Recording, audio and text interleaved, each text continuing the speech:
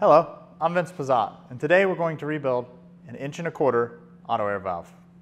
So let's get started. What are the parts that we'll actually need? We have a impact to cut down on our time, uh, assortment of wrenches, a flathead screwdriver, and a service repair kit for an inch and a quarter or inch and a half standard four bolt auto air valve. The repair kit comes with a schematic,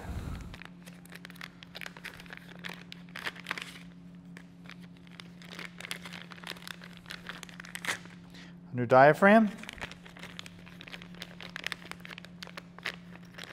an assortment of bushings and O-rings, rubber bushings,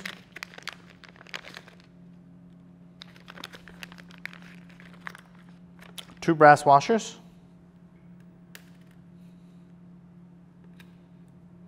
and two replacement nuts, and one smaller O-ring. So let's get started.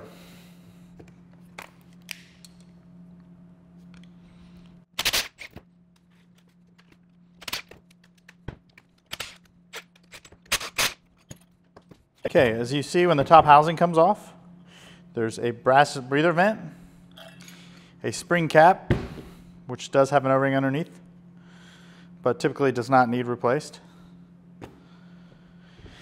And you see the diaphragm. So this is where you're going to want to inspect for any kind of wear or tears in the diaphragm.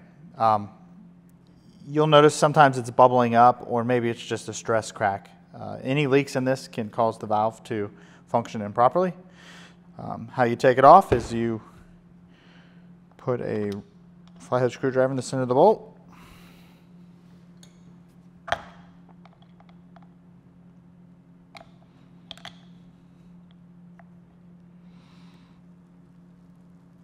And you walk the nut off, which a lot of times is very tight, tricky to do.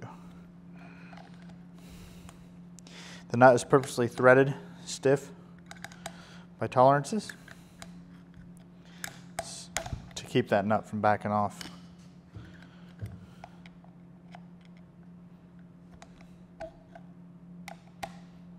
You want to be very careful not to mess up the threads on the post.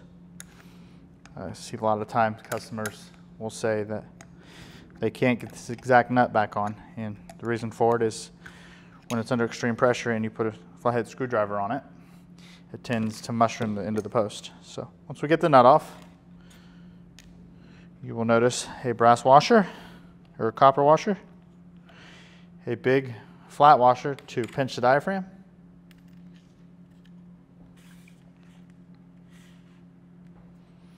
the diaphragm itself,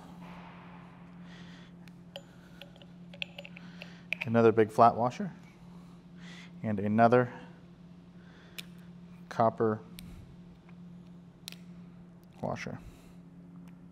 So once you get to this point, we're going to get a wrench and we are going to walk out the center assembly of the valve. You want to be very careful with this one as well. If you strip out this nut, then you're buying a brand new valve. This one was very tight. So once you pull out this assembly, you're going to notice that you have the top cap with a center O-ring and what the plunger looks like. Um, if you have blow-by on an auto air valve, you'll notice that the seat here on the base has a big gouge in it, so you uh, you'll lose air through there. So uh, the process from there is you continue breaking this seat down, and it's a lot more easy to do in the vise. But today we were doing it on the table.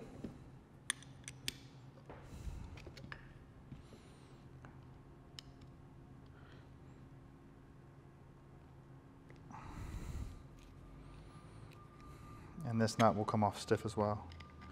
The two replacement nuts you get in the rebuild kit are this bottom nut and the upper nut, which is here.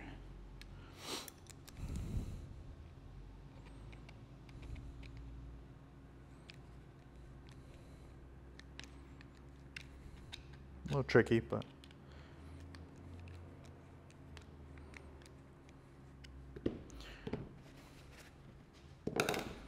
uh, you'll see there's nothing left really on the inside of the valve. You can replace this race here in the bottom uh, if needed, but typically there's no wear on the internals there. So once we get to the bottom, you will notice that there is a assembly with a flat washer.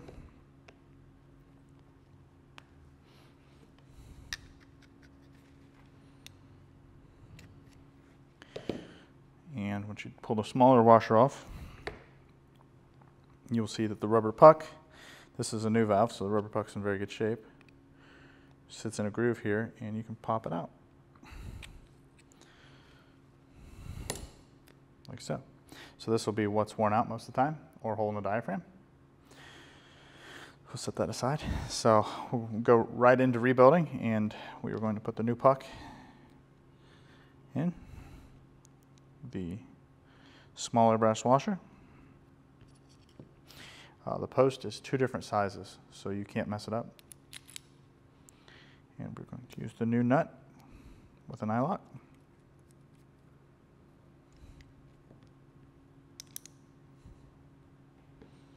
I found it's easy to just hold this assembly in your hand like this. Get your wrench right and actually set it right into place. You want to make sure this is good and snug, but again, be very cautious that you're using the proper size screwdriver because the flathead groove here really messes up easy. So let's get that assembly tight, we now have a new washer. We can move on to the center puck.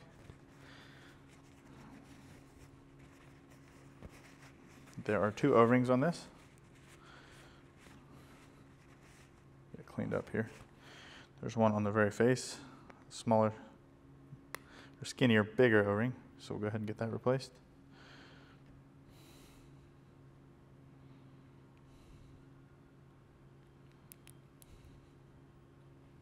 Like so. And then internally, I don't know if you're going to be able to see it on the camera, there is a center O-ring. And how we get this out is you take a right angle pick tool and you walk this one out and then shove it back in through the bottom side. This is a new valve, so we don't need to destroy the O-ring in replacing that.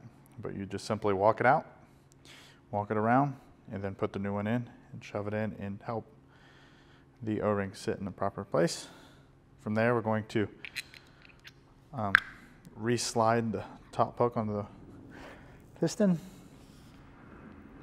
Um, typically, you want to make sure there's grease or lubrication here, no foreign debris and we are going to install this back. So these are very fine threads. We want to make sure that you do get it started before you tighten it up.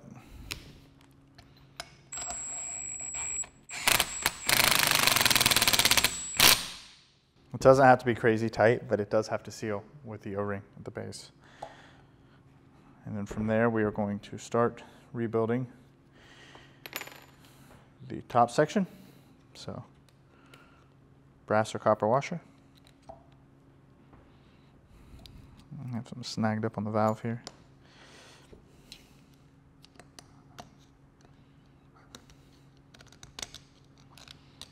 You want to make sure that nothing like this happens to you when you're rebuilding it. Um, looks like a piece of the copper washer actually had came apart and ended up on the threads. So that would allow the uh, valve to not function properly or seal properly and you would get blow-by leak. So once we have that done, inspect the flat washers, make sure you get a good smooth side to go against the rubber so it doesn't wear a hole. The new diaphragm. Big washer again, you want to make sure it's clean as well.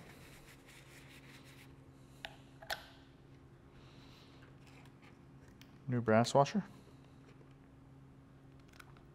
and new nylock nut for the top. So if you did it properly, this should screw right on. If you use too small of a screwdriver, you will notice you're not going to be able to get the nut started. And unfortunately, either file it and clean it up or get a whole new rebuild kit. The newer kits are coming with a new post, so that helps a lot.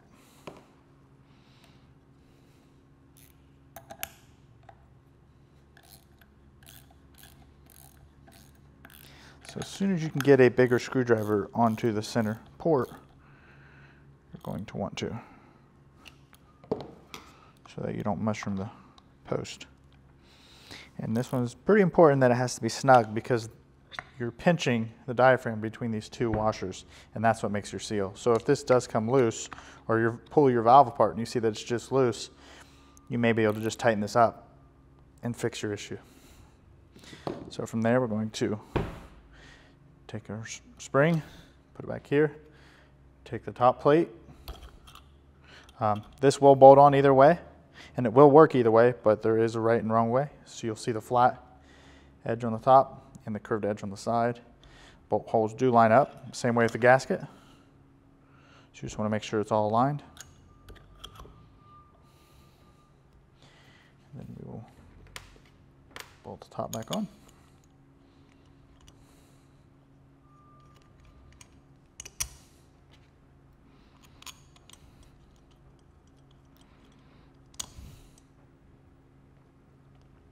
You will notice we do have some gaskets left over. This smaller one goes underneath this cap.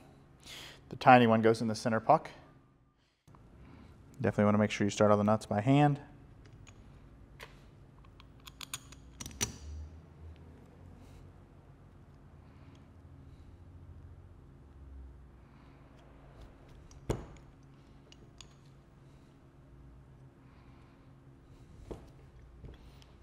And we're going to tighten everything up.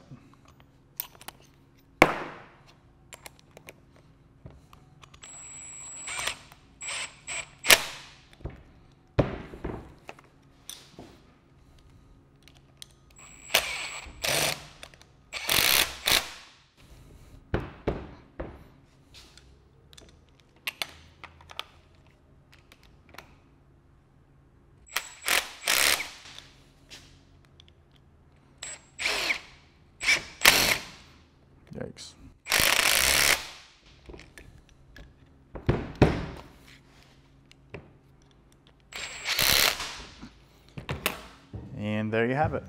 We just rebuilt a four bolt auto air valve. Thanks for stopping and I hope this helps you in the field.